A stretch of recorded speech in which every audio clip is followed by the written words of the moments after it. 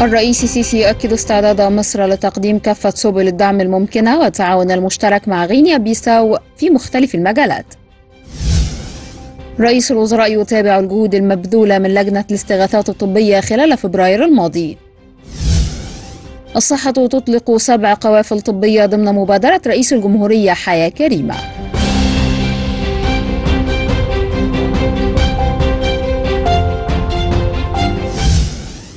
أكد الرئيس السيسي استعداد مصر لتقديم كافة سبل الدعم الممكنة والتعاون المشترك مع غينيا بيساو في مختلف المجالات. وكتب الرئيس السيسي عبر صفحته الرسمية على موقع التواصل الاجتماعي فيسبوك شرفت باستقبال السيد عمر سيسوكو إمبالو رئيس جمهورية غينيا بيساو في قصر الاتحادية. في إطار تعزيز العلاقات الثنائية بين البلدين واستعداد مصر لتقديم كافة سبل الدعم الممكنة والتعاون المشترك في مختلف المجالات. تابع الدكتور مصطفى مدبولي رئيس الوزراء الجهود المبذولة خلال شهر فبراير الماضي من جانب لجنة الاستغاثات الطبية بمجلس الوزراء.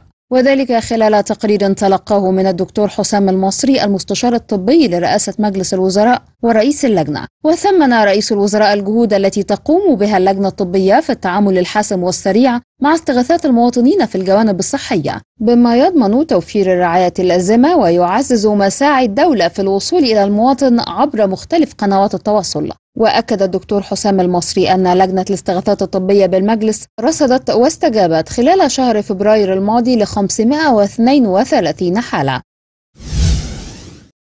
أعلنت وزيرة الصحة والسكان الدكتورة هالة زايد عن تلقي 1141 مواطنا من الفئات المستحقة الجرعة الأولى من لقاح فيروس كورونا المستجد. وذلك في اليوم الأول من بدء تطعيم الفئات المستحقة من المواطنين والذي بدأ أمس في إطار خطة الدولة للتصدي لجائحة فيروس كورونا والاهتمام بالصحة العامة للمواطنين. أعلنت وزارة الصحة والسكان عن إطلاق سبع قوافل طبية ضمن مبادرة رئيس الجمهورية حياة كريمة للكشف والعلاج مجانا في جميع التخصصات الطبية وذلك على مدار اليوم وغدا بمحافظات جنوب سيناء والوادي الجديد ودمياط والدقهلية والغربية والجيزة والبحر الأحمر.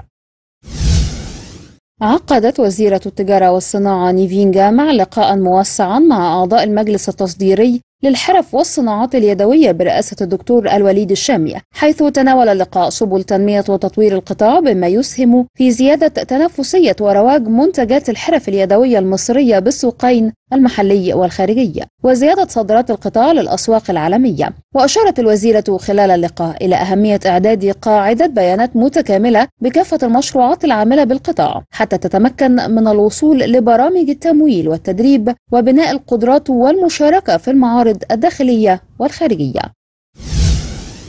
أعلنت المنطقة الاقتصادية لقناة السويس في بيان صادر صباح اليوم عن مغادرة السفينة أورانوس المتجهة إلى المغرب بحمولة 6000 طن من الإسمنت الأبيض المعبأ من سيناء. بعد عمليات الشحن لمدة 48 ساعة متواصلة العمل داخل الميناء.